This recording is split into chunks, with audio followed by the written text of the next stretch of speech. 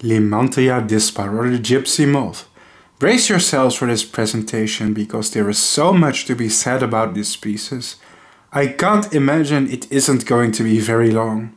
Let's discuss these moths as an interesting native and also invasive species in some parts of the world. This presentation uses copyrighted photographs and illustrations which I am actually allowed to use under the Fair Use Law, provided their use is transformative. Worldwide, the species has a large distribution. The species is native to Europe, Russia and Asia.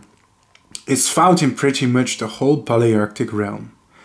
It survives in temperate climates. The species is also present in North America as an introduced species. The habitat of this species is quite diverse, but it mainly prefers forests. It thrives in oak forests in particular. Despite eating a variety of host plants, they do have preferences. Oak tree and also poplar tree and willow are important and favored food plants for the species. The species can also sustain itself in scarcer terrain, such as the dunes.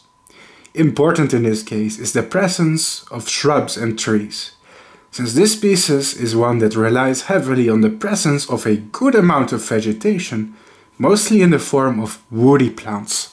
The species can also sustain itself in parks and other urban environments. Suburbs in some cases also have enough trees to sustain them. The life history of the gypsy moth is definitely an interesting case. But I guess that you've already experienced it live during this video. Like any moth, they go through the stages of egg, caterpillar, pupa, and then the imago, the moth itself. As you can see in this time chart, the egg stage is the life stage in which they spend the most significant amount of time. Why? That's because the species hibernates in the egg stage. From the moment the eggs are laid, they will not hatch into babies until the consecutive year, spending almost half a year in suspended development it is only in spring, when temperatures rise after months of cold, that the little caterpillars care to wake up. After breaking through their eggshell, the caterpillars in spring start feeding on the fresh leaves of the plants. The larvae disperse from the egg case and sometimes travel all the way up the tree tops. In some cases even the wind can blow them away and disperse them. After settling in the crowns of trees and woody plants, they start feeding. The larvae spend about 5 to 6 weeks feeding on the vegetation. After that they pupate. The species makes a really lazy and flimsy cocoon. It's questionable whether or not to call them cocoons at all. Using only a few strands of silk they spin leaves, tree bark and other litter together and pupate in it. The pupal stage only lasts for a very short time, usually about 2 weeks. This explains why they don't invest much time in producing extensive cocoons. For the short amount of time, the pupal stage lasts anyways. And then the adults come out. The adults have a very short lifespan. And after the adults mate, the female lays hundreds of eggs and the life cycle starts again. The male and female of this species are rather distinct. Females are pale with white wings. Males are brown to grey with large feathered antennae. Both sexes do not live very long.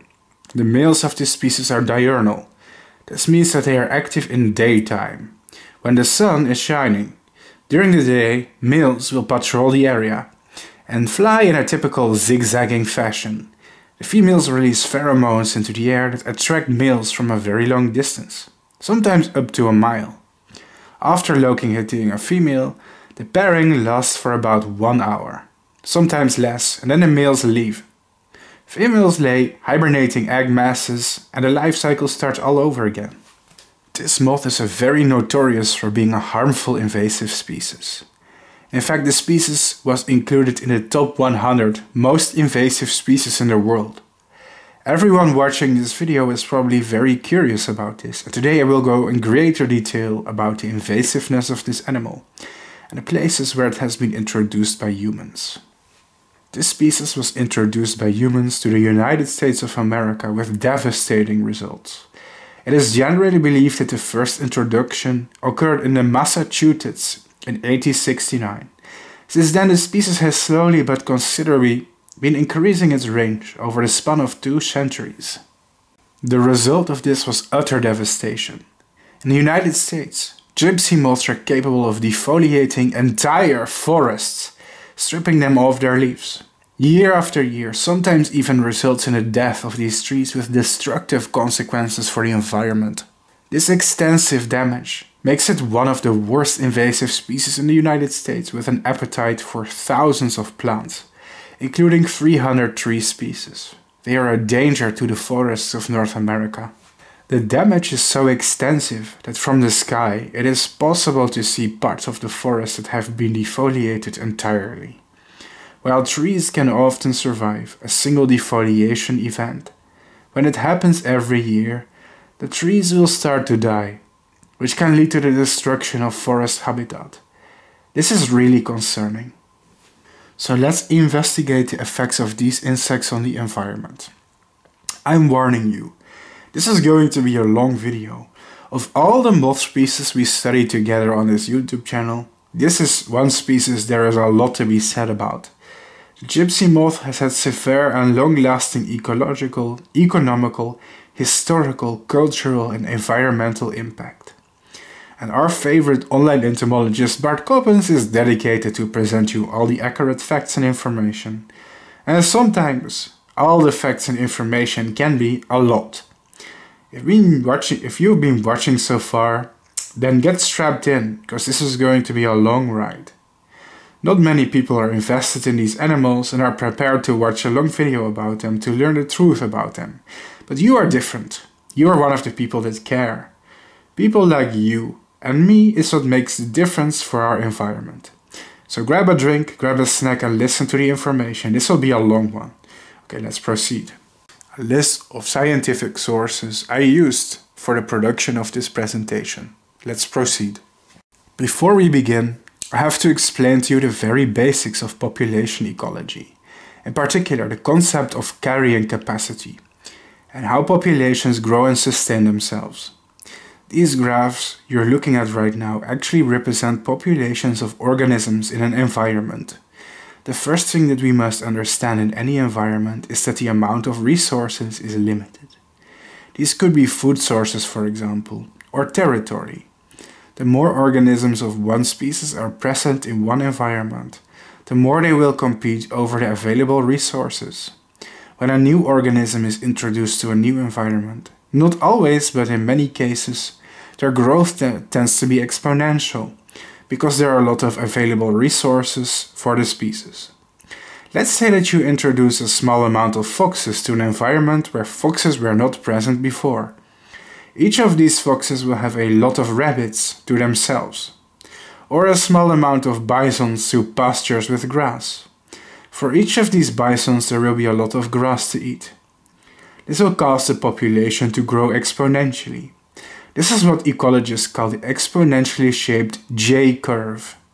In this period of time, it seems as if there is endless growth to a certain species in the environment. On a graph, exponential growth curves upwards, which is why it's dubbed the J-curve. This exponential growth, however, cannot last indefinitely. The more individuals there are in one area, the more factors will work against them. Competition over food sources, for example, as large numbers of individuals start competing over the same limited amount of food sources. Their growth will be inhibited. This is because each environment, in each environment, um, each environment only has the ability to support a limited amount of individuals. And once this amount of individuals is surpassed, the rate of growth will eventually decline until the population crashes to a level that the environment can sustain. This is known as the carrying capacity.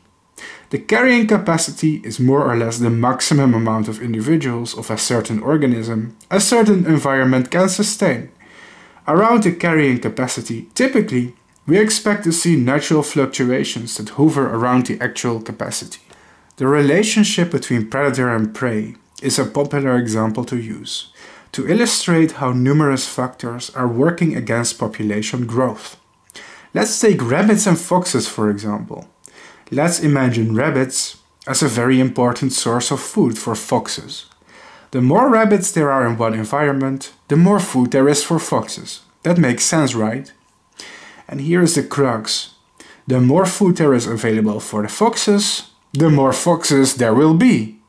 Why? Because in years of abundance, when there is a lot of food, they will give more birth and they will breed more prolifically. In essence, an increase in the number of rabbits will eventually result in an increase of the number of foxes. But when the number of foxes increases, the number of rabbits will de decrease because the foxes are now eating much more rabbits because there's more of them. Are you starting to see the connection? The number of foxes and number of rabbits is not only intrinsically linked, they regulate each other. An overpopulation of rabbits will be controlled by the foxes.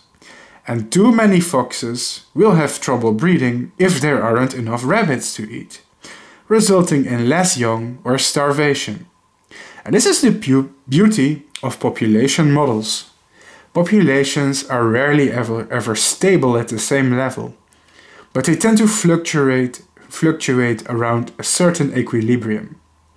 This equilibrium is the carrying capacity.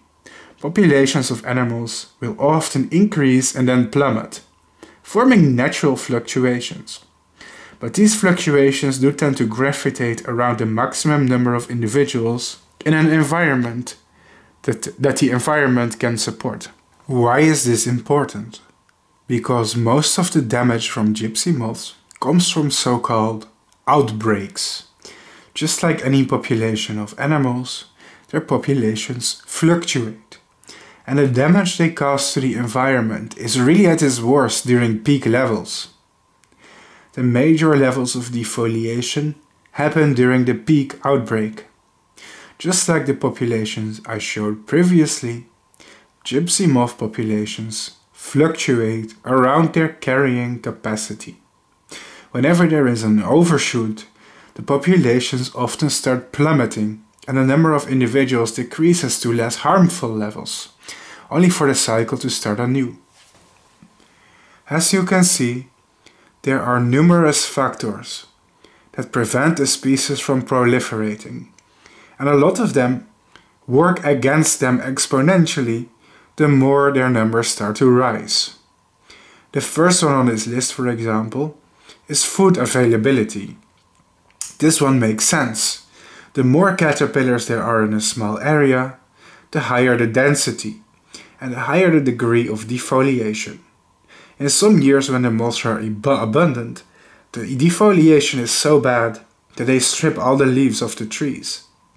This leaves many of the caterpillars to starve, as this basically means all the food in the area has been eaten and they have to compete over it. Secondly, there are numerous pathogens. Viruses are mentioned here too. In particular, the nucleopolyhedrovirus kills a lot of Lepidopteran larvae. The higher the densities of caterpillars in one area, the more easily diseases can spread and infect larvae, so when peak numbers are happening, mortality will also increase rapidly, and the high density of larvae allows diseases to spread very fast. The same goes for bacteria and fungi in these occasions, all of which are pathogens that are um, infectious and can jump from individual to individual. Their transmission rates will be much higher in areas with a lot of caterpillars in a closer proximity to each other. This makes these factors density dependent, which means that they increase exponentially the more individuals there are, and are one of the factors that start working, start working against them strongly whenever there are outbreaks. Parasites, too, are organisms that use the caterpillars as hosts, and parasitism increases in numbers along with the number of larvae. Predation also increases as a high number of prey items means that predators are thriving, and this also increase in numbers. Of course, there's also other numerous other abiotic factors that don't have much to do with the density of individuals. such as the severity of winter. Cold winter can kill the eggs of moths, for example. And unusually harsh winters can kill off of 95% of the eggs in some instances. So let's give a nice rundown of some of the major limiting factors when it comes to the gypsy moth. Viruses are major killers of Lepidopterans, and in particular their larvae. Baculoviruses in particular target a wide range of silk moths and also their relatives, such as in this case the Lymantria dispar. The baculovirus life cycle includes two distinct forms of virus. Occlusion derived virus or ODV is present in a protein matrix, polyhedrin or granulin, and is responsible for the primary infection of the host, while the budded virus BV is released from the in infected host cells later during the secondary infection. In simpler terms, caterpillars ingest the virus that assumes an almost capsule-like form. Baculoviruses are transmitted to insects by the oral route, mediated by the occlusion-derived virus. After being ingested with food, the proteinaceous occlusion bodies dissolve under the alkaline conditions in the larval gut. Following this, the virions are liberated and proceed to infect the cells of the host organism. The larvae usually die several days later after most tissues have been infected. After the larvae die, they spread virus particles all over the vegetation, and even predators and parasites that feed on them unknowingly carry these viruses with them for a long time, spreading them all over the environment. Fungi are also important killers of gypsy moth larvae. In the wild, dozens of species of fungi that target insects exist. In one particular, there is one that is, deserves attention. It is the gypsy fungus, Entomophaga maimaiga. This fungus, that targets and kills larvae of the Lepidopteran kind, was found to be one of the weaknesses of gypsy moths in Japan. In fact, this fungus was endemic to Japan, supposedly, and perhaps to other areas in northern Asia. But important to understand that it was definitely not native to the United States of America. But the United States government decided to introduce it as a means of pest control to the United States around 1985. Did it work? Yes, it did work because soon after, the cadavers of dead gypsy moth caterpillars were found in the near area.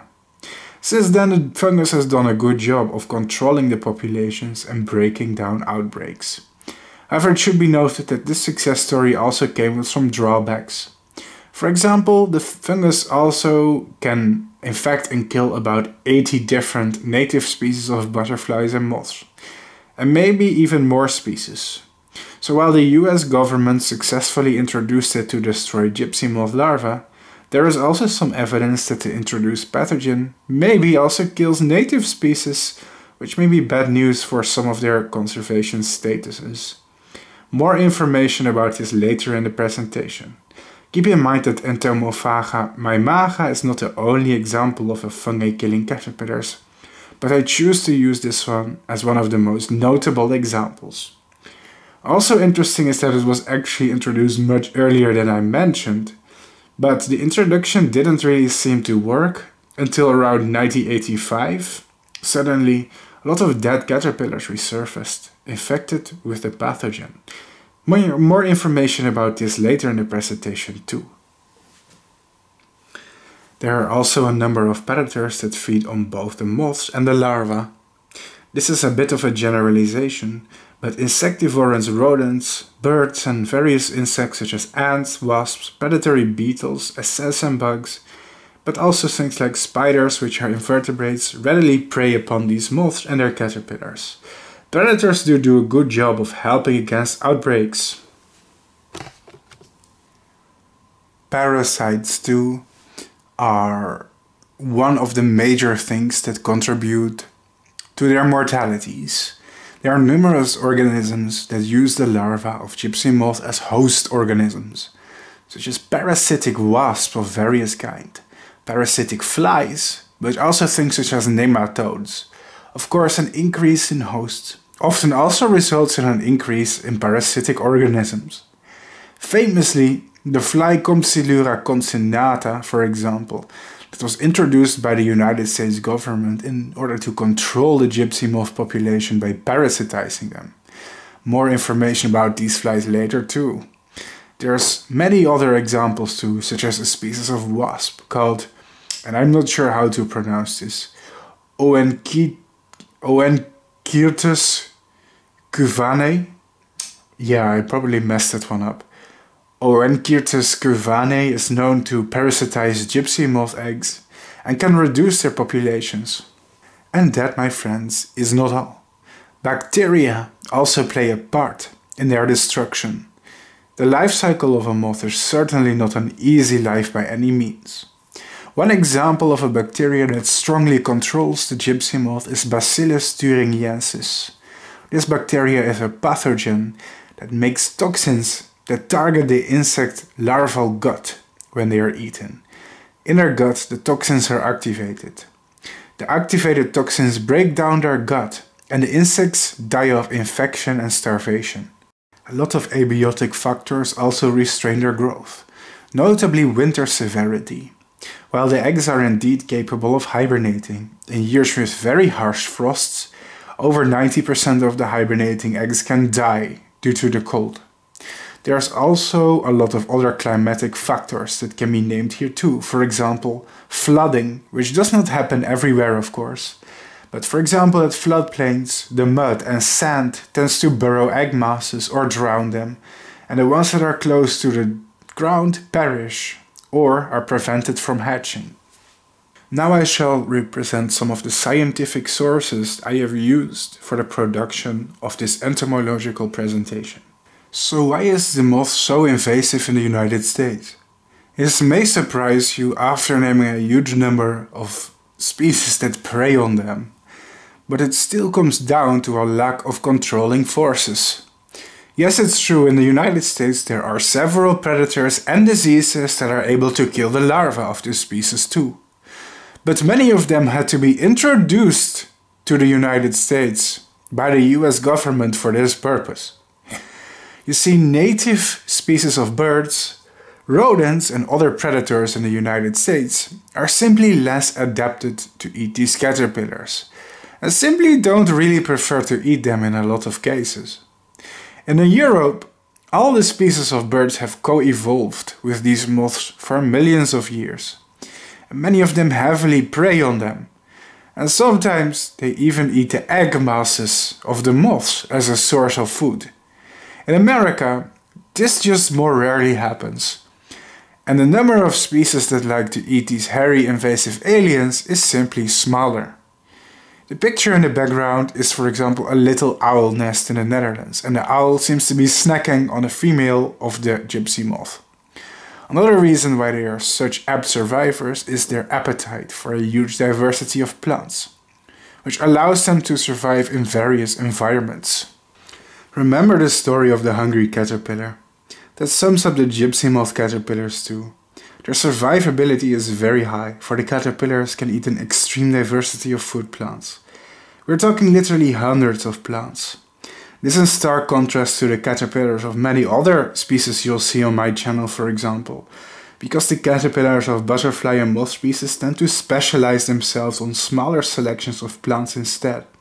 These can eat a huge, huge variety of plants compared to the average species of moth and that gives them an advantage and allows them to spread over a wide variety of terrains as long as enough woody plants are available. 500 plus host plants have been recorded, including but definitely not limited to oak tree or quercus, willow or salix, poplar or populus, lime or tilia, cashew or pistacia, birch or betula, sweet gum, liquidambar, malus, pear, pyrus, cherry, prunus, hawthorn, crataegus, pine, pinus, hemlock, tsuga, spruce, picea, cypress or Chamaecyparis, beech or fagus, corylus or hazel, robinia, and many, many more.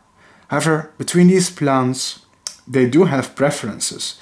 For example, they don't like pine tree very much, although it depends on the subspecies. Their favorite host plant by far seems to be oak tree. Oak tree, in particular, is very important for the abundance, density and populations of this species, especially the European subspecies. In forests with a lot of oak trees, this species thrives very much. They love oak trees. This species mainly dominates an oak forest. Northern oak forests are the perfect and often preferred habitat of this species, and the more oak trees are present in the forest, the higher levels of outbreaks can be. So now we had this rundown, let's finally investigate the damage and the impacts of this invasive species. In what ways do they impact the environment? And is there anything that we can do against it? Let's attempt to quantify this a little bit. So how bad is the damage? Well, since 1970, more than 83 million acres have been defoliated by the gypsy moth in the United States. In total, this is a surface area that's bigger than the size of Arizona, which is by comparison 72 million acres. That's an extraordinarily large amount of forest that has been defoliated by an alien that doesn't even belong there. Invasive species are one of the major threats to our environment today, as of the 21st century. So what is defoliation and why is it bad? Let's dive into this. Tree defoliation hurts the forest in several ways. The good news, however, is that trees usually survive being defoliated once. It's when it consistently happens every year that it can lead to tree mortality. Being defoliated once does, however, make the trees more susceptible to secondary pests, drought, and poor growing conditions. The resilience of forest environments to withstand external pressures and stress factors when combined with defoliation, drastically decreases. This in a modern day and age, with factors such as climate change and deforestation affecting the overall health of forests, combined with pressure from invasive species, can lead to tree mortality and overall decline of forest cover. During severe outbreaks, trees and shrubs are completely defoliated over large areas, Despite the tree's ability to produce a new crop of leaves over the summer, the damage causes substantial growth loss. Understory shrubs may also be affected.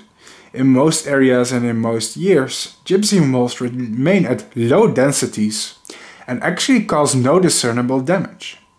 But in extreme situations, 100% tree mortality may occur over large areas that have consistent outbreaks and defoliations. Even worse, the gypsy moths are expanding their range. It is estimated that more than 30 million hectares of forest in the United States have been defoliated since 1970. The potential area that is climatically suitable for the gypsy moths is estimated to be 595 million hectares.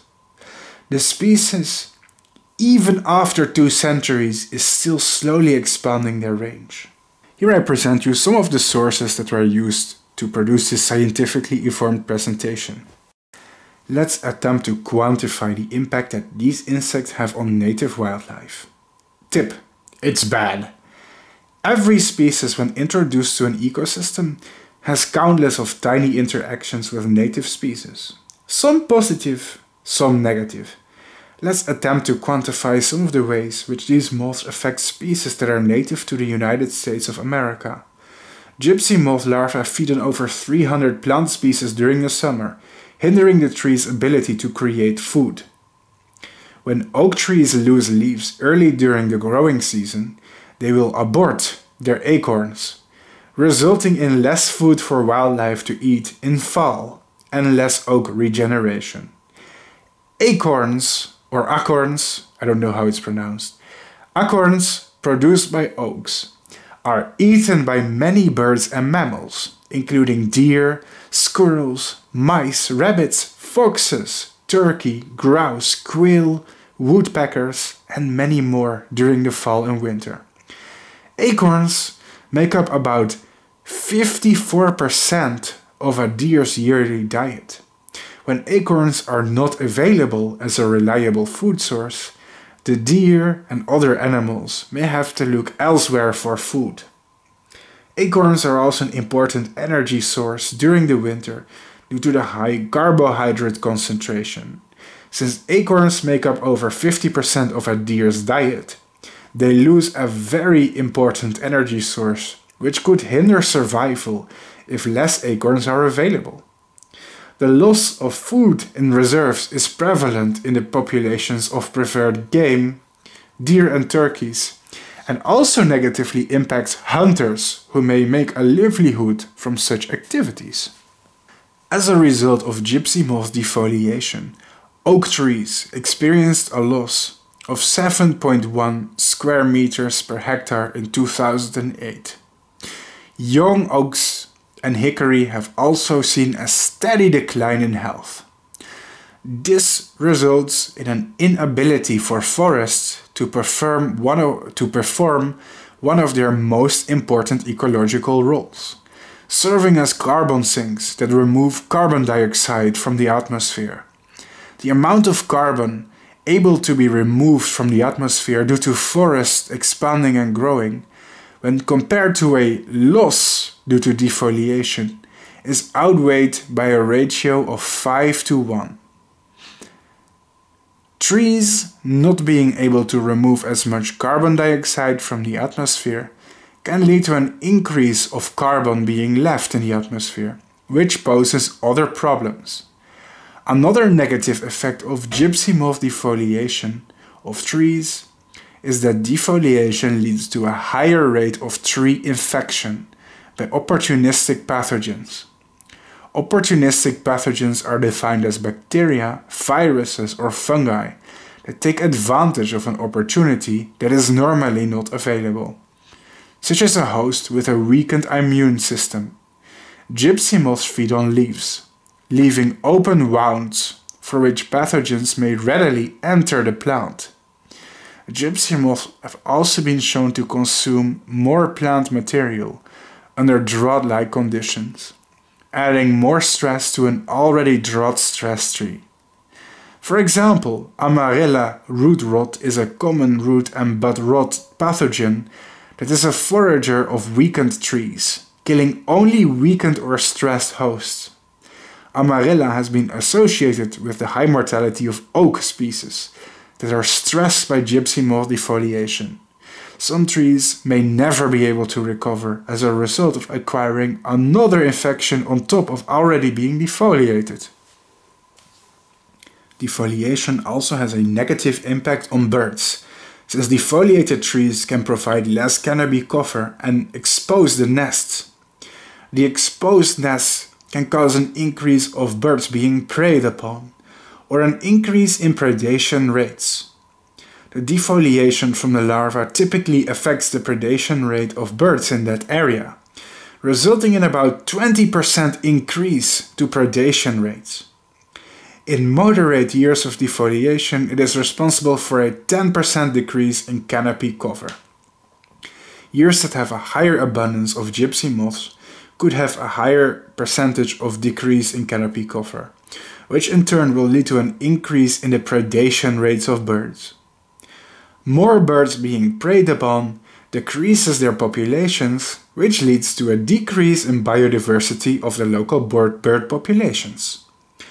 There is also a strong correlation seen between the decline of cavity nesting bird populations and defoliation. Cavity nesting birds include woodpeckers, swallows, wrens, and nuthatches. All of these species are important insectivores that play an important part in the insect control of the ecosystem. A decrease in these ecologically important species will ultimately lead to a rise in the number of insect pests that are seen in a forest. Defoliation is not the only hardship gypsy moths impose on the ecosystem. The introduction of invasive species can lead to a decrease in biodiversity or variety of species in an area. This is accomplished through competition between gypsy moths and the native caterpillars living in the area of outbreaks. Gypsy moths can increase the mortality rate of native caterpillars, such as the northern tiger swallowtail. Their mortality increases to 100% when they feed on quaking aspen leaves, painted with gypsy moth larval fluids. This increase in mortality rate can decrease the abundance of northern tiger swallowtails. Another study in northern oak forest shows abundances of gypsy moths among native species average about 75% in some areas and can increase to 96%. Particularly, there are decreases seen in white-marked tussock moths and forest tent caterpillars, which are native species that belong in these areas of study. Due to the gypsy moth's preferred species of tree being oak, they compete with a number of other caterpillars that feed on oak tree, which includes cankerworms, linden loopers, leaf miners, oak worms and webworms. The specific species mentioned here are just some of the caterpillars affected through competition with gypsy moths. In reality, many other species, hundreds of species in different areas of outbreaks, are affected. Wow! A decline of birds, a decline of deer and other herbivores, a potential decline of native trees, and even a decline of native butterflies and moths. Who would have known that just one species can have such a devastating impact on a broad range of animals? Anyone who supports the environment understands how destructive invasive and introduced species can be, driving our native, native beloved species to decline or even extinction. Not to mention the cost, the economic impact, the damage that these moths cause and measures to limit them, their spread or to eradicate them cost the United States economy $250 million per year. Oaks are important timber trees in much of the Northeast, and gypsy moth infestation can result in tree death, growth losses, and changes in wood quality, which all have direct secondary effect on timber values. Standing timber degrades quickly after tree death, causing losses up to 25% within 5 years. Last but not least, infestations also affect tourism, for tourists may avoid visiting the affected areas, on top of which the state often has to provide for preventive measures and pest control, which again funnel a lot of money that the government has to spend on damage control. It's incredible to think about the massive impact that even one person can make by just being irresponsible with their non-native insect species that they breed. The good news is that the impact this species has had on the human health is not very large. And I quote, Gypsy moth hairs do not cause severe adverse side effects to human health, unlike oak processionary moth caterpillar hairs. However, as with all hairy caterpillars, the hairs are potential allergens, although symptoms vary depending on an individual's susceptibility. So it seems that the hairs of this species are not classified as toxic or highly irritant. Despite that, it does seem they can be potential allergens and may trigger skin rashes or allergic reactions to people who are sensitive to the hairs. When infestations happen, and the caterpillar levels are high, the presence of hairs that can carry it by the wind may be a detriment to people who have a sensitive immune system. It is time to display some of the sources that were used for the production of this scientifically informed presentation. So what has the US government done to prevent the spread of these malicious insects? Let's give a rundown of some of the preventive measures that have been put into place to try and limit the spread of the gypsy moth. No, this is not a picture of the Vietnam War, of the United States dropping Agent Orange. It's a picture of the war against gypsy moths. And this helicopter is dousing the vegetation in DDT, a potent pesticide that thankfully is not being used in the United States anymore today. Since their introduction, a lot of things have been tried to prevent the moth populations from growing even bigger and to keep their numbers in control. Now in the presentation I will summarize some of these methods, which is not easy to do because there is so much information to discuss, and even a summary will be very long. But I have spent months of reading and research on this presentation and I summarized most of it. Commonly used against gypsy moths is a pesticide named diflubenzuron. Diflubenzuron disrupts the normal molting of insects and other invertebrates by interfering with the deposition of chitin, preventing proper formation of the cuticle. The good news is that diflubenzuron does not seem to be very harmful to organisms that are not invertebrates. This is important to remember because a lot of general pesticides tend to be toxic to literally every type of plant and animal, affecting wildlife as a whole with a lot of sad collateral damage. Diflubenzuron, however, only targets invertebrates and in particular their larval stages, by interfering with the molting process with deadly results. This means that thankfully other vulnerable wildlife such as vertebrates could be spared from any harmful effects. Diflubenzuron unfortunately does negatively affect non-target populations of invertebrates. It seems to be highly effective against aquatic invertebrates in particular, and the most sensitive in general appear to be crustaceans.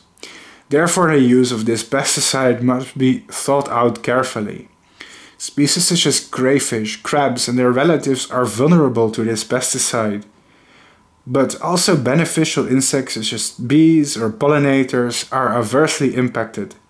Now each pesticide comes with its own pros and cons. And while it looks like this pesticide can be pretty bad for non-target species of native insects and other invertebrates, important to note is that unlike many other more broad spectrum pesticides, it is less harmful to things like vertebrates, which may make it a more attractive option. Unfortunately, pesticides rarely come without any form of collateral damage. Carbaryl is another major pesticide that is used in the fight against gypsy moths. It kills both targeted as well as beneficial insects.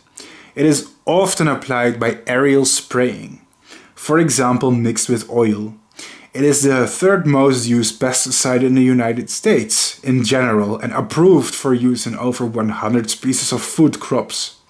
It's the active ingredient in Carylderm shampoo, which is used to combat head lice in, until infestation is eliminated. It is classified as a likely human carcinogen in the United States Environmental Protection Agency. Interestingly, the pesticide is illegal in Europe. It is very effective against gypsy moths. In some instances, reductions of 99% of the gypsy moth in the area can be reported, which is a lot. And if true, is a quite good result. Carbaryl is used as an insecticide on corn, soybean, cotton, fruit, nut and vegetable crops, as well as in home yards and gardens. Carbaryl is also sold under the trade name Sevin. The advantages of Carbaryl are several. Yet again, this pesticide thankfully has a low level of toxicity to vertebrates.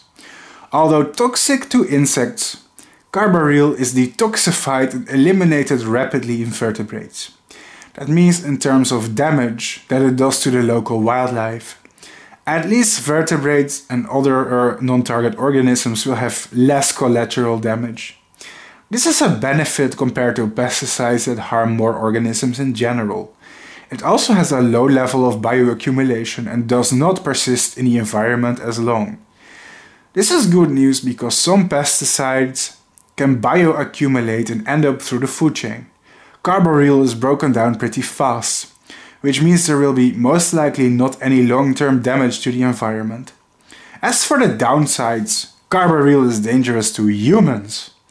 Exposure can induce comas, respiratory failure, blurred vision, convulsions, nausea, vomiting, potential liver and kidney damage, and it's also classified as a potential carcinogen.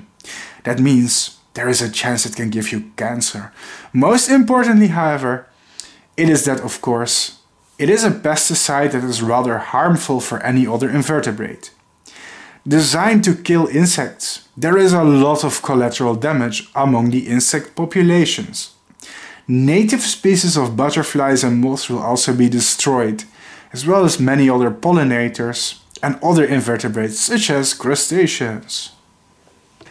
Tebufenozide is an insecticide that acts as a molting hormone. It is an agonist of the ecdysone receptor that causes premature molting in larvae. It is primarily used against caterpillar pests. For those who didn't study entomology, ecdysone is the molting hormone in insects that trigger skin shedding. In fact, molting is also known as ecdysis for that reason. It's related. Tebufenozide appears to be highly specific to Lepidopteran larvae. All things considered, that's a pretty good thing.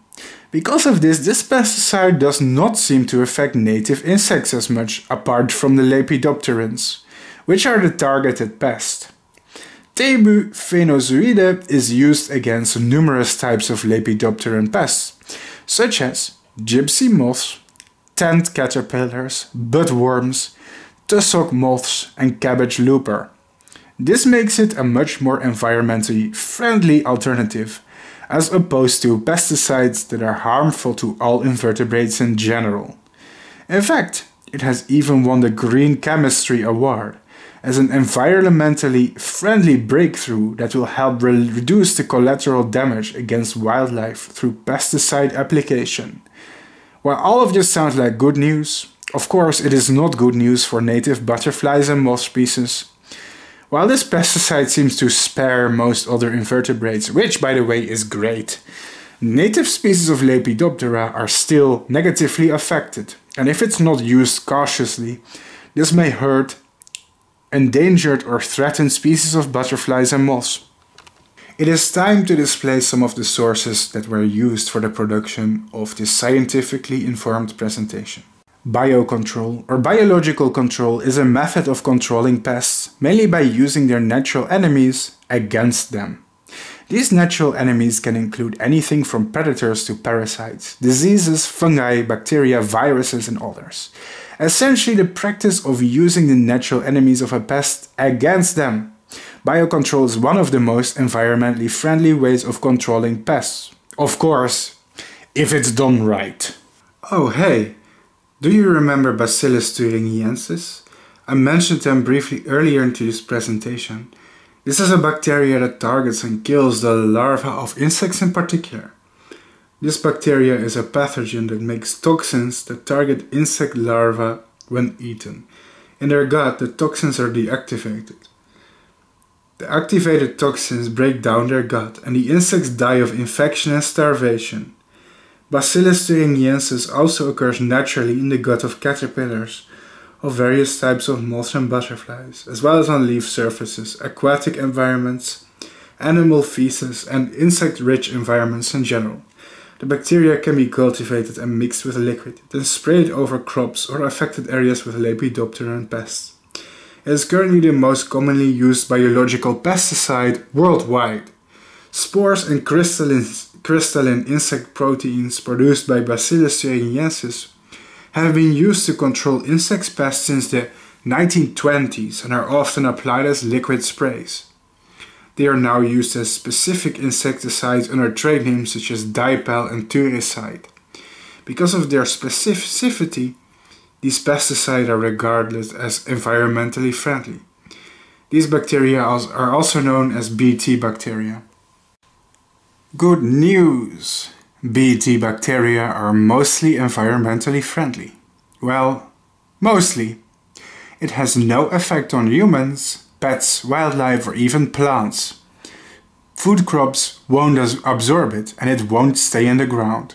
It is a naturally occurring organism and all of this is pretty good news. That means it is not detrimental to the health of humans and many other animals, unlike other pesticides.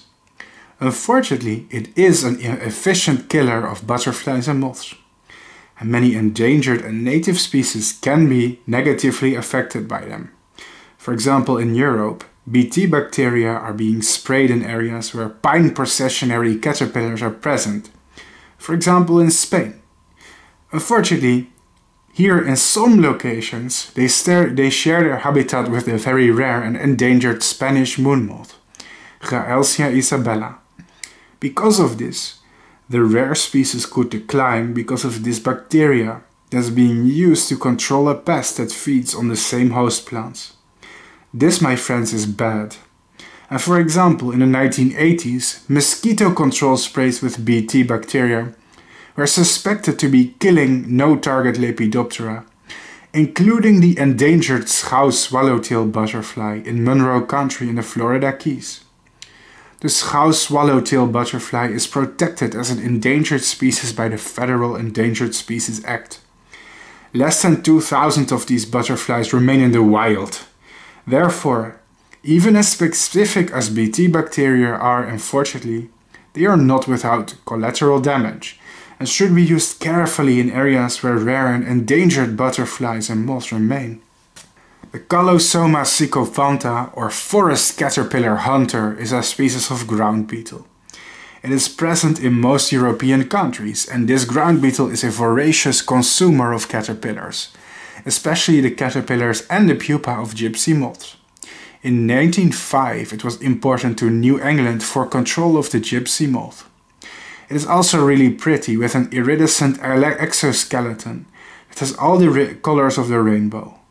Both the adults and the larvae exclusively feed on caterpillars of several kinds especially on hairy caterpillars such as processionary caterpillars and a gypsy moth. Interestingly, the larvae of the beetle are also predatory and feed on caterpillars but also pupa of moths. If the introduction of the beetle helped control the numbers of gypsy moth in America is disputed. disputed. Some studies have shown positive results, for example. One study showed that during one instance of an outbreak, over 70% of the caterpillars on the lower parts of the trunk of the trees and 40% of their pupa were destroyed, although pupa and caterpillars that were higher up in the trees were affected less. Other studies, however, show that gypsy moth survival, um, pupal survival was high when predator population densities were also high. This is not what would be expected if Calosoma sycophanta were controlling the pest, so the results are a little bit mixed. The beetles probably do help reduce their numbers somewhat, but definitely not enough to prevent outbreaks. The good news is that the beetles breed and persist in the habitat and form a continuous form of control.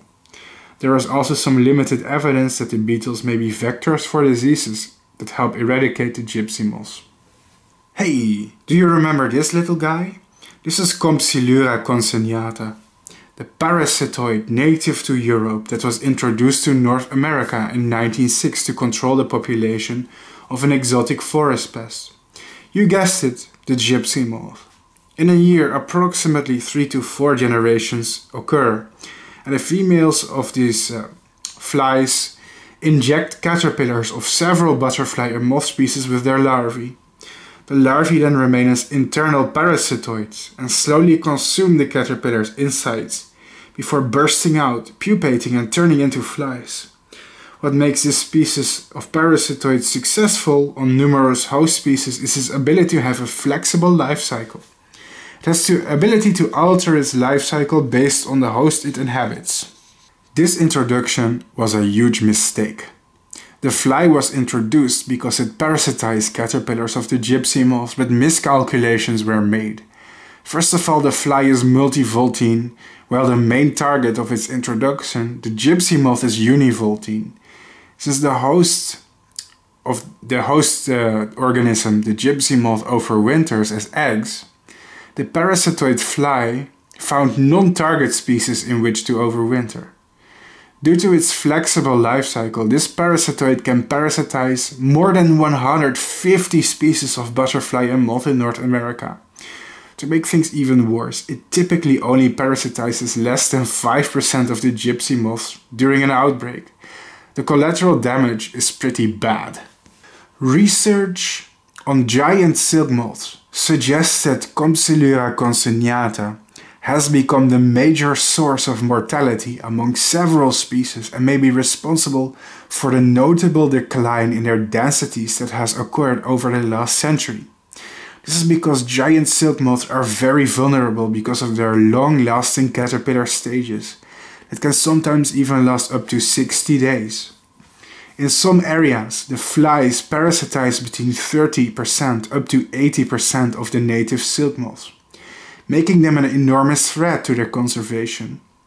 Compsilura concinnata is a multivoltine insect. It completes a first generation on gypsy moth and has two or three subsequent generations on other Lepidoptera, whose larvae are present in late summer. This fact may link the dynamics of these different species. An outbreak of gypsy moths may lead to higher levels of parasitic flies, since more gypsy caterpillars means more parasitism. When a generation of gypsy moths has pupated, the flies move on to other hosts, while their levels are elevated by the pest that they took advantage of. Yikes! Entomophaga maimaiga, the gypsy fungus, is a killer fungus that targets and kills the caterpillars of gypsy moths. Deliberately introduced the, by the United States government, while it was originally native to Asia, this fungus is pretty effective and in some cases managed to decrease the levels of defoliation by 85%. Presence of Entomophaga maimaiga may be determined by late instar gypsy moth larvae which, when infected with this fungus, die, hanging vertically from tree trunks with prolegs extended laterally. The cadavers subsequently fall to the bases of trees. Although Entomophaga maimaiga was introduced in the United States from Japan in 1910 and 1911, its first 1989 appearance in Connecticut, New Hampshire, Vermont, northeastern Pennsylvania, New Jersey, southeastern New York, and Massachusetts, is a mystery. If its presence is due to the original introduction, then why wasn't it detected during the years between 1911 and 1989? Either way, since its presence was established, based on lab results, Entomophaga maimaiga appears to be quite specific to the family that includes gypsy moths although it can cause low levels of infection in a number of other species. This means that the amount of collateral damage it inflicts in non-target species is actually quite low. Only relatives of gypsy moths, such as other native tussock moths, are affected by the fungus. In low levels, unrelated families are affected too, such as leopard moths and some noctuids. But out of hundreds of dead gypsy moth caterpillars, only one or two of them are non-target species. In a 1995 study of Entomophaga maimaiga released against gypsy moths in residential areas, only the control plots had high levels of defoliation.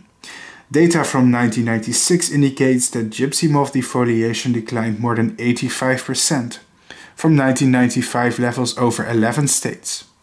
The most dramatic cases in Virginia, where um, 1996 defoliation was non-existent, compared with 85,000 acres in 1995.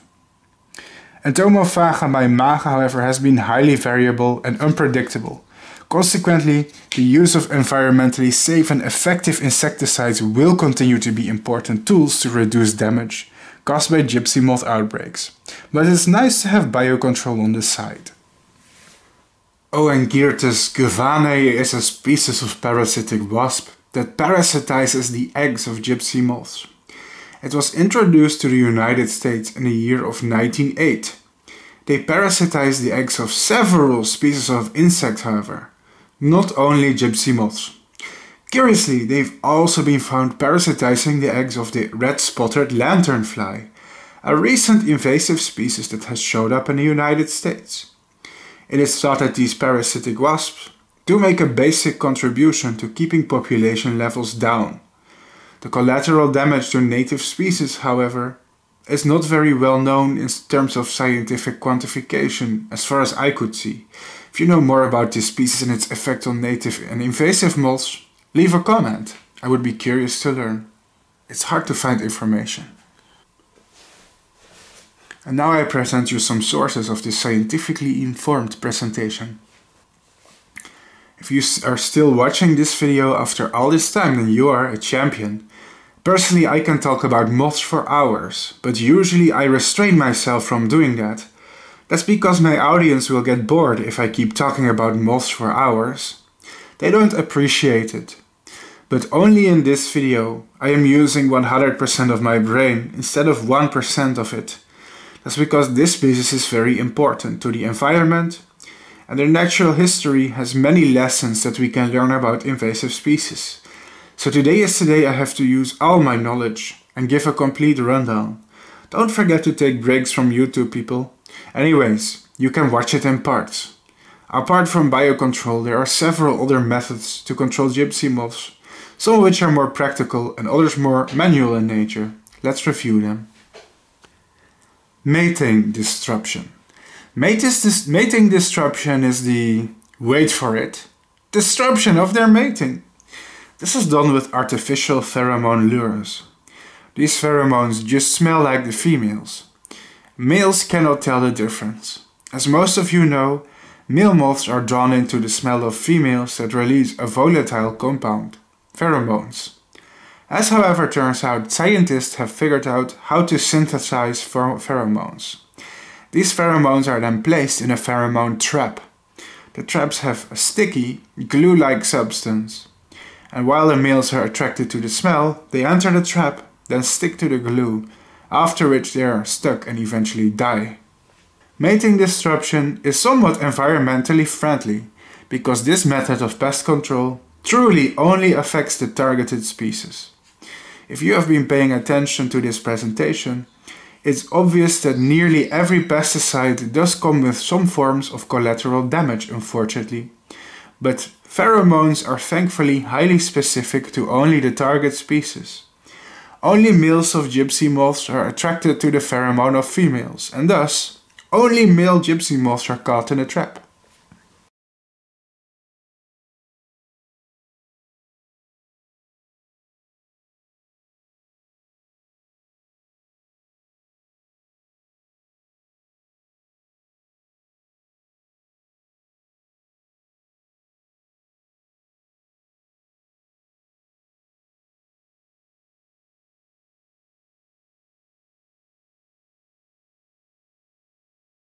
And then of course we have things such as egg mass scraping. Eggs, egg masses can be scraped off trees or other items into a container with soapy water which will kill the eggs. Note, if you simply scrape the egg masses on the ground, many eggs will still be able to hatch the next spring.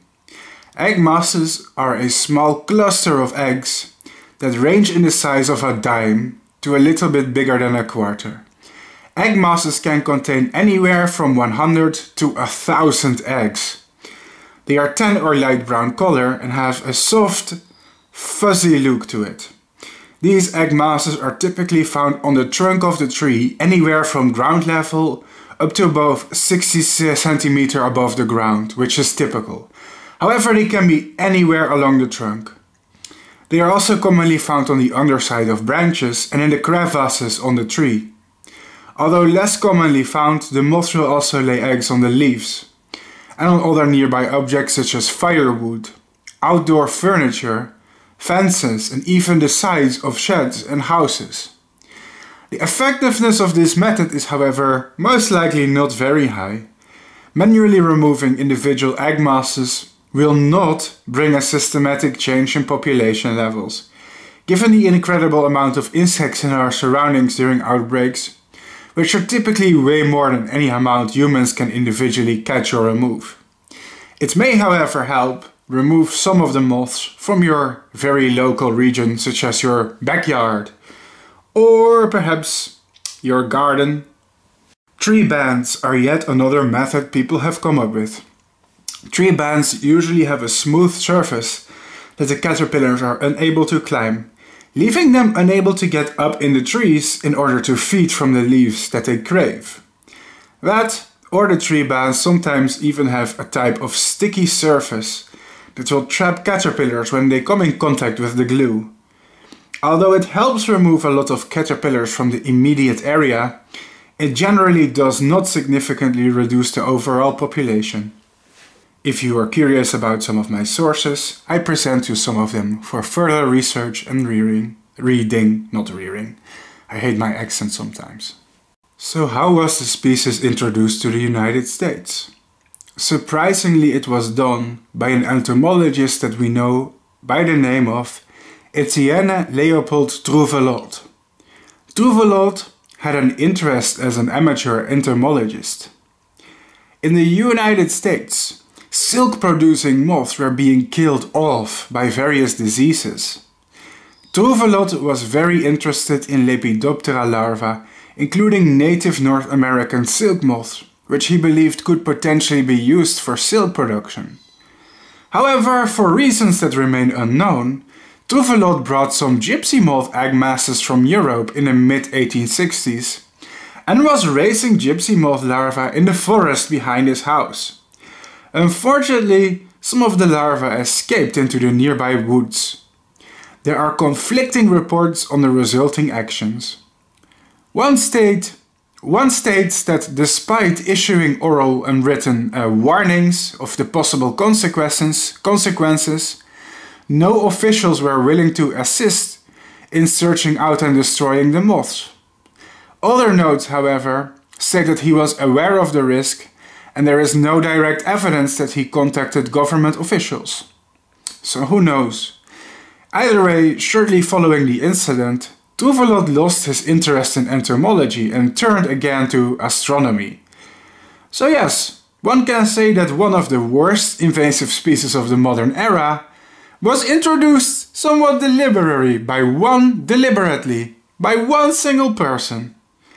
Although their escape and spread to the United States wasn't really a part of the plan and may have even considered to be accidental in some regards, it's interesting to think about the fact that it was a breeder of moths that raised them in captivity, actually just like me, that let them grow out of control. I don't think there is any other way to illustrate how much responsibility exotic pet owners should have, and why it's necessary to have regulations in place that prevent people from importing any species they like. What's even more puzzling is that Trouvelot was supposedly breeding them to look for an alternative species to produce silk. Which is crazy considering the fact that gypsy moths hardly produce any silk at all, ironically. There are several subspecies of the gypsy moth too that are of particular interest. The subspecies also have subtle differences in their behavior and ecology. Let's dive into the most relevant ones. Lymantria dispar dispar is the European gypsy moth. It's the same insect that we have been breeding together in the beginning of this video. It is native to Europe, West Asia and Northern Africa. This is also the subspecies that had primarily escaped in North America and is the original invasive species that was first introduced.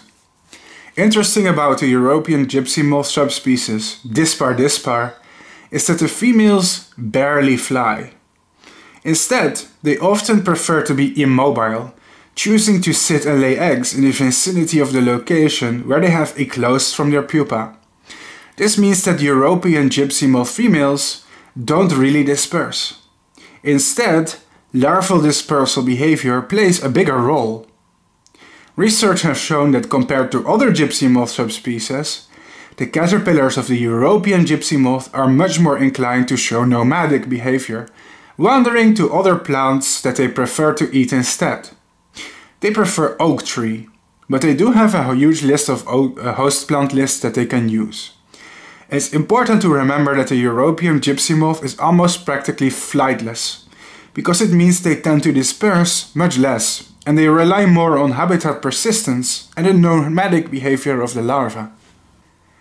Lymantria dispar asiatica, or the Asian gypsy moth, is native to temperate Asia, east of the Ural Mountains. There are subtle differences in their appearance, such as the more pale males with the darker wing costa, but the most important difference is that females are much more inclined to fly. The biology and ecology of the, both the Asian and European forms of Lymantria dispar are similar. The primary differences are that Asian female moths can fly up to 20 kilometers, that is 12 miles, while European female gypsy moths are more or less flightless and rarely stray very far from the place where they pupated. And the Asian strain has slightly different host plant preferences than the European strain as well. The Asian gypsy moth, for example, has a great appetite for larch or larix, salix or willow, and alder or alnus. This is a subtle but very important difference, because the Asian gypsy moth is also or used to be present in the United States much more recently, as recent as 1990. And their preferences for different trees means that outbreaks could have different characteristics, and the subspecies could defoliate different habitats than the European dispar dispar. It is also concerning that the females are much better at flying which means that this invasive subspecies will be much better at spreading themselves around the country and dispersing much faster. Then there is Lymantria dispar japonica, the Japanese gypsy moth strain. They are also similar to the European and Asian subspecies, but again show some interesting differences. For example, research has revealed that this subspecies often prefers to lay eggs higher up in the trees. The European and Asian subspecies often oviposit their eggs about one meter above the ground on the lower part of the tree trunks, but a Japanese subspecies has been documented laying their eggs very high up in the trees. Interestingly, they also really like to oviposit on birch tree and seem to have a bigger preference for birch tree in general than the other subspecies. They can also defoliate larch, persimmon and Japanese cedar trees. Females are highly capable of flying. Here is a comparison between the three relevant subspecies we discussed today. All three of them of course look very similar, but the Asian subspecies are a little bit bigger than the European subspecies. Namely, the females have a much greater size. The European subspecies has tiny females in comparison, the Asian subspecies are a reason for concern when it comes to the United States of America. This is because of their different ecology and behavior. We have already established that the European gypsy moth subspecies, the Lymantria dispar dispar, often abbreviated to LDD, is an extremely harmful forest pest that is destructive to the deciduous oak forest. That's why the fact that there are other subspecies that prefer to eat other trees as well is scary to think about. Why? Because they could destroy entirely new forests that European gypsy moths do not affect. In fact, their tendencies to infest different habitats could mean that the destruction could happen in conjunction. For example, the Asian subspecies could pose a threat to coniferous forests that are rich in larches but also humid forests where a lot of willow trees are present. The Japanese subspecies also defoliates persimmon and other plants. On top of that, the females of the Asian subspecies are much better at dispersing themselves. You see, one of the greatest limiting factors in the invasiveness of the European gypsy moth is their very limited ability to disperse. They are quite an immobile pest. The females practically suck at flying and rarely do so.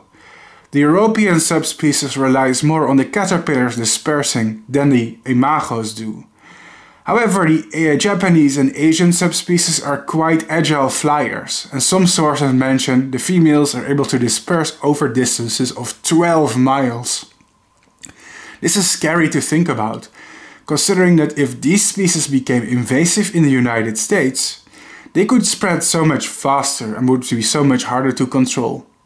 Even worse, the Asian subspecies already became invasive in the United States several times between 1991 and 2005, which raised a lot of red flags. Massive pest control efforts, however, have presumably helped eradicate the Eurasian subspecies in the United States for now, and as of today, right now, they are presumed to be extinct in the United States. But you never know if they can return. Small populations can in fact be eradicated before they grow out of control if they are detected early, because the US government is still very wary of these subspecies.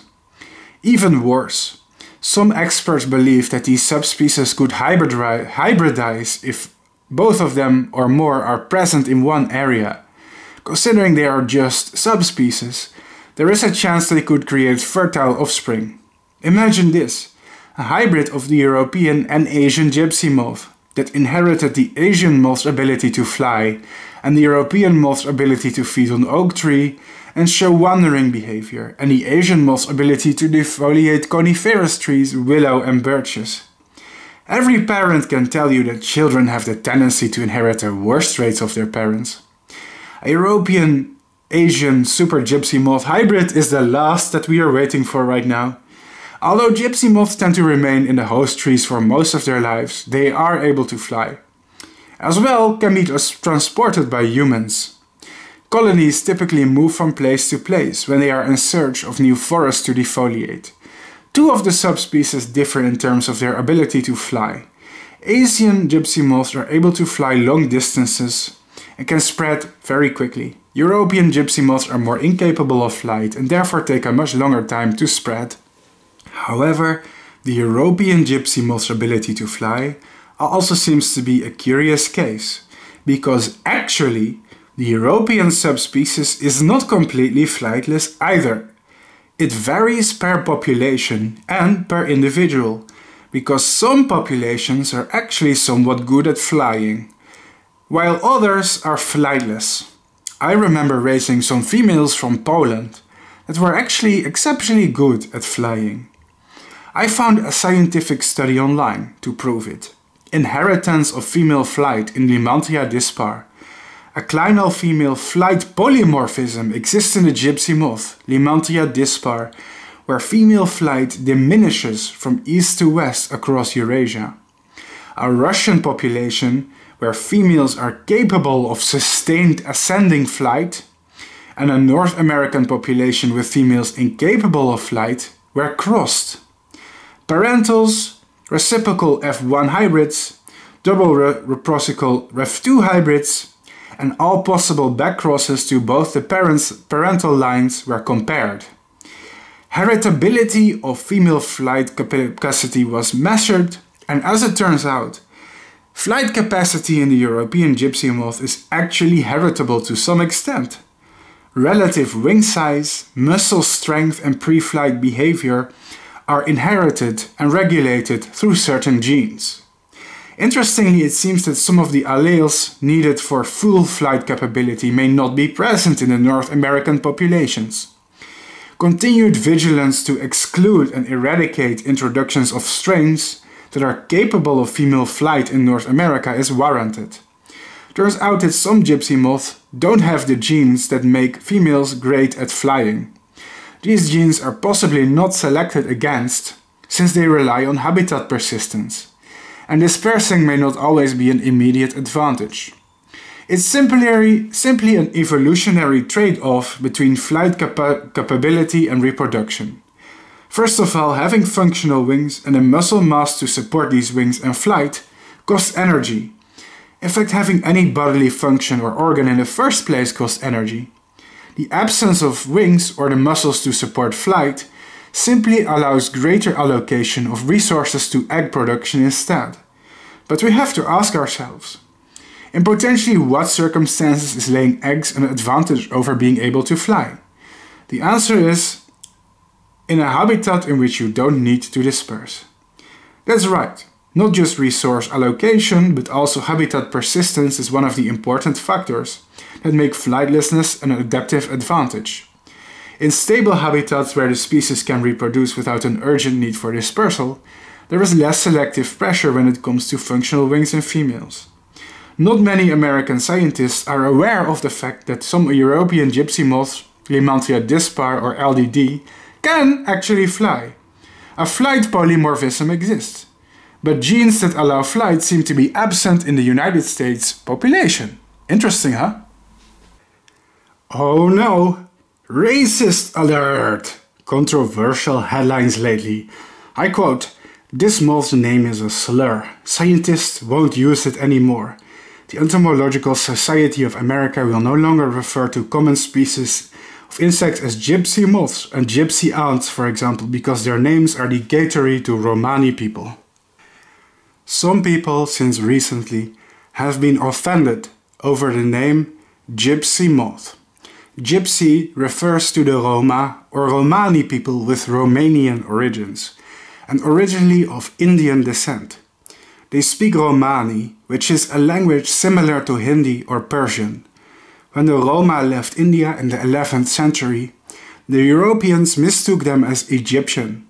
This is where the term gypsy comes from. Some of the history associated with the word is not pretty. The Catholic Church restricted Roma from purchasing land.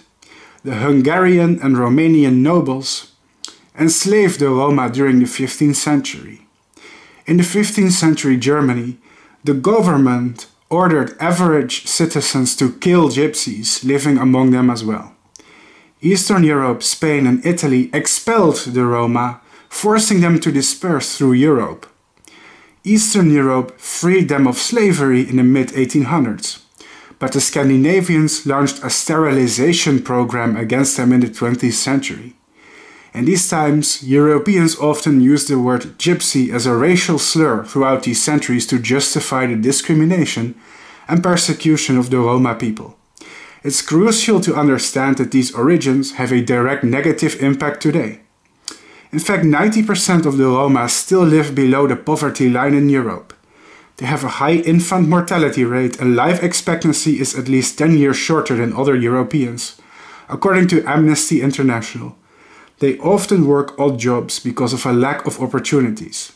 Some people who identify themselves as ethnically Roma, called Romani or Romani, are offended by gypsy and most standard dictionaries have reservations about using it to mean Roma.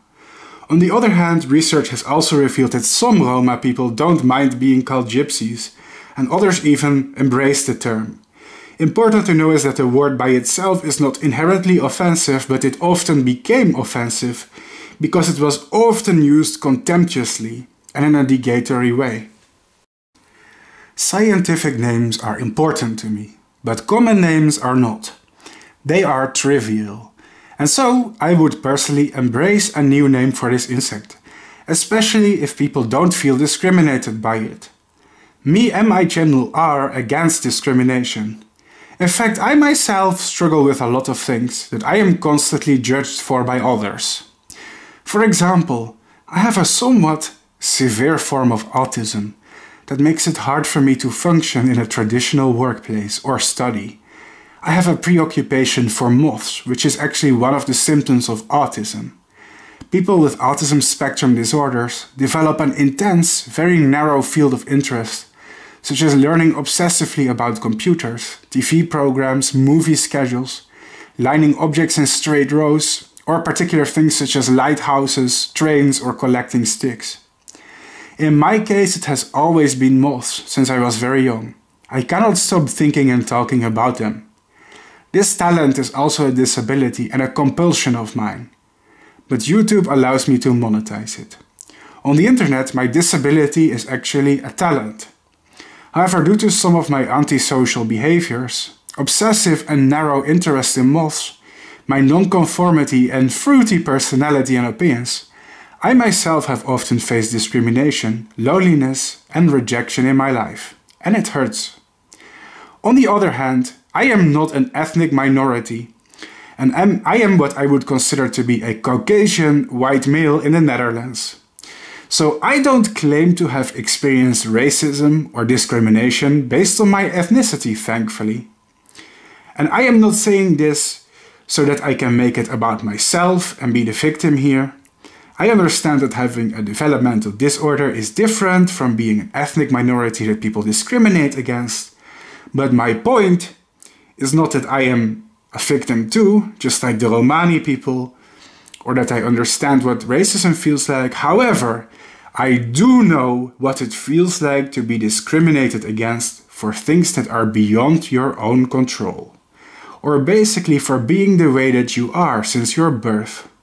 And it sucks when people use your identity as a slur, as, as an insult. Whether it people call you a gypsy or an autist it is something that you have no control over, and I can relate to that feeling somewhat. Therefore, if there is any social change and people decide to use a different name, I think I would support it. So, why am I calling them gypsy moths all the time in this super long video, in which I say the word gypsy moth hundreds of times? I mean, if you count how many times I said the word gypsy in this video, it's probably hundreds of times. Is that not offensive and hypocritical if you're aware of the problem? Well, my issue is that no new name has been published yet. People complain that the old name is problematic, but the old name as of today is still the official name. People that want to find information about this insect are still googling the word gypsy moth all the time. And I can't just make up a new name for them myself right now. As a YouTuber, it's important to me that people searching for information about these insects are redirected as traffic to the video that I have made about them. If I make a video about coffee, but I title it Bean Water, no one will find my video. If I make a video about monarch butterflies and call them orange flappers, no one will find my video on Google or YouTube. If I make a video about jellyfish, but I decide to call them sea puddings in my video, no one will find my video. And for me it's important for people to find my video and find information about these insects that they are looking for. That's how I get views. And for me this is more important than to avoid using the offensive name. Please keep in mind that the word gypsy moth has been used for decades, if not centuries. And I don't think this video is going to change that fact for now. So for me it was just really important to include this discussion so people are aware of it. And I think it's very important to agree on a new name in the first place before we stop using the old name, because now it's left in limbo. Overall, the impact of this species on the environment has been grandiose and devastating. Some afterthoughts are appropriate here. And that brings us to the end of this presentation. By far the longest and most educational episode of Moth Cycles. Usually this web series is more focused on breeding moths, making it more fun and entertaining, and showing their life cycle from egg to adult moth, giving them a rundown of the species and its ecology. This episode, however, was a little bit excessive in regards to the species rundown. In fact, this is probably the most detailed species rundown in the discussion part of the web series Moth Cycles I have made so far. Why? Why so long and detailed? That's because this is just a very important species for our society, both economically, culturally, ecologically, and ethically. There is just so much to say about gypsy moth. Anything from their history of becoming invasive, to learning important lessons about invasive species and their consequences for the environment. As a person that himself also likes to import various exotic species from time to time, and maybe has even inadvertently helped promote the practice of importing exotic moths. So things like sustainability and invasive species are a very important moral and ethical theme for my channel, all the way to clearing up the many misconceptions about gypsy moths and their population ecology, quantifying their impact on the environment scientifically, to the discussions and debate about racism and their common name, to their interesting life cycle and several ways they can change forests and impact human health and economies have changed legislation. There is just so much to say about this insect. In fact, I try to keep it short. Originally, this episode was twice as long, but I cut most of the content because I figured there's not many people who have attention to watch a video for that many hours.